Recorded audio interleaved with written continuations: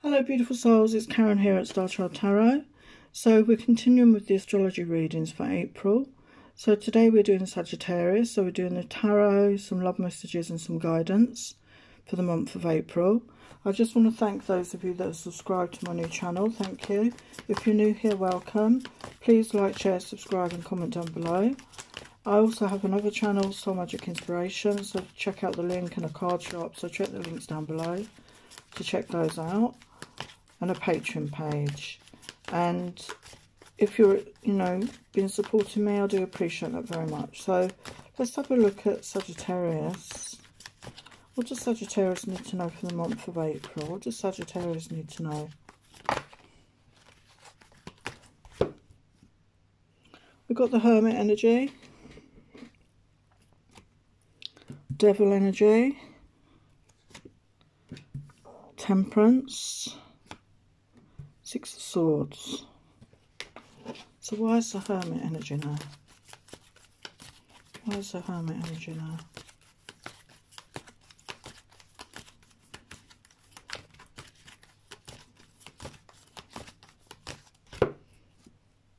Nine of Cups.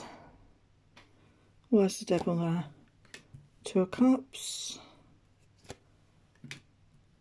Ace of Wands. Star energy. So we've got the Hermit energy clarified by the Nine of Cups. So sometimes it is our wish. Nine of Cups is talking about wish fulfillment in love, I always feel, but sometimes we, we need to focus on that self-love, and I feel that's what that's talking about right now, is focusing on self, focusing on self-love, putting that energy towards ourselves to do that healing. As I said, the first of April is that new moon in Aries, which has got Chiron there, and it's a very healing energy. So we've got the devil energy there, clarified by the two of cups. So there could be some sort of addictions around relationships, around a partnership of some sort. And then we've got balance. So after this period of being alone, I feel you're going to come into balance with renewed passion, you know, wanting a new beginning here. And Six of Swords is leaving, leaving behind the past, leaving behind past patterns and behaviours. I always see that moving forward with the lessons learned. And after a period of healing with that star, wish fulfillment coming in. So it's beautiful energy. So why is the hermit there? Yeah, we've got Ace of Coins. So the will, after this period of being alone, there will be a solid new beginning here. So why is the devil there? Why is the devil there? We've got two of wands. Maybe there was too much codependency. Maybe there was too much addictive behaviour. Maybe there was a lack of a choice, too much indecision there. We've got eight wands. Maybe too much communication. Uh, maybe too much messaging, focusing too much on, on outer things rather than inner things. And as I say, you're going to come into balance with that temperance energy there.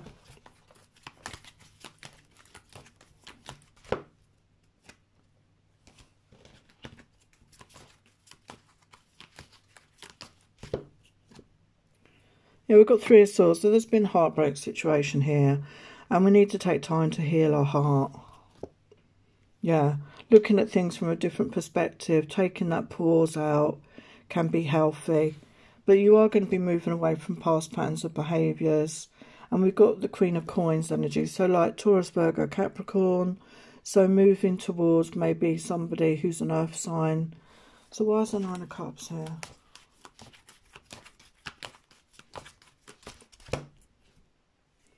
yeah, we've got that um, Hierophant energy. This is a Hierophant. So that is talking about our spirituality, our values, our traditions. And I feel that it's talking about looking at things from a different perspective here. So what is that Two of Cups about?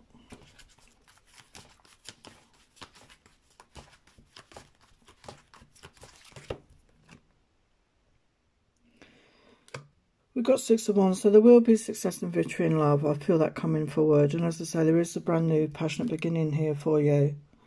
But initially you need time to heal, take that time out to be alone, like we said at the beginning with the Hermit energy. Take time to rest, recharge, go within and focus on your manifestations, do that healing work. Yeah, and there's a brand new beginning coming in. So you're going to be ready to take that leap of faith forward after this period of self-reflection and healing.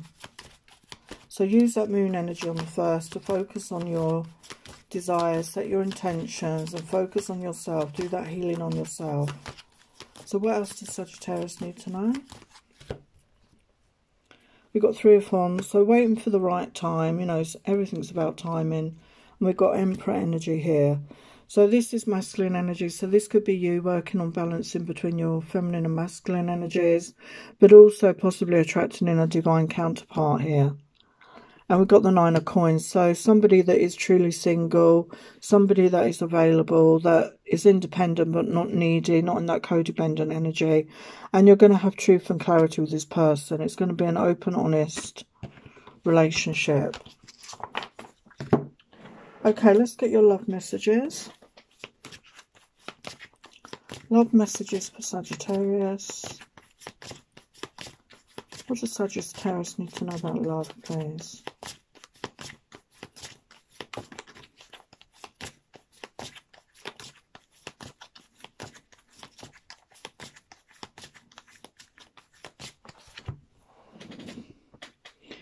Yeah, time to heal, meditate. Exactly what I was saying. Spending that alone time, doing that healing, meditate, you know, do a spiritual practice. Yeah, fresh starts coming in, new beginning in love, dating someone new. So there's definitely somebody new on horizon. Yeah, we've got silent treatment at the moment. So there's a lack of communication um, between you and somebody.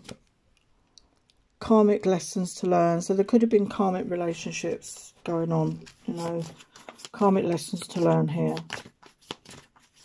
So what else does Sagittarius need to know?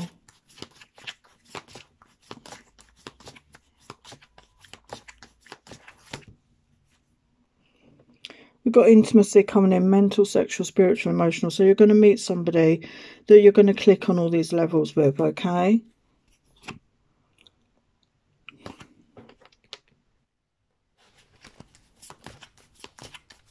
Anything else for Sagittarius? Positive thinking and faith to attract and romance. So keeping positive, keeping the faith, focusing on what you do want as opposed to what you don't want. And being the energy of forgiveness. You know, forgive other people, forgive yourself for any mistakes.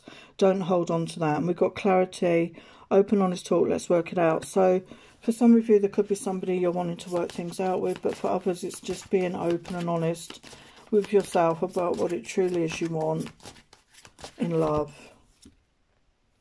We've got soulmate, soul love. So for some of you, there is definitely a soulmate coming in here. Okay, so let's get some final messages for Sagittarius. Final messages. What does Sagittarius need to know here?